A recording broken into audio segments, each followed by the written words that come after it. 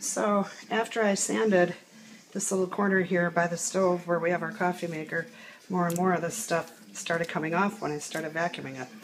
So I'm thinking that seeing as I can peel these huge pieces off, like that, that I am just going to peel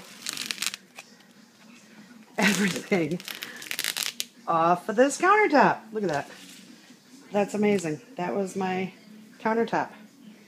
That's now, now it just has some of the spray paint left on it.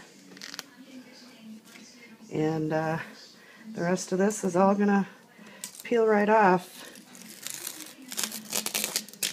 And like I said, it's like peeling skin, sunburnt skin. Pretty weird. But that's some of the coating that I had used.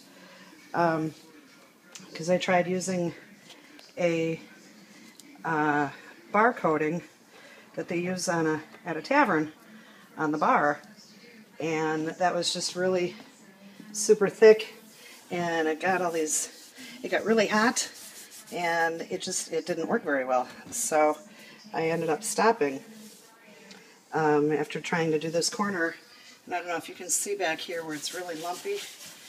See that? Well, it's all dirty from the sandpaper and stuff, but that's where I finally gave up.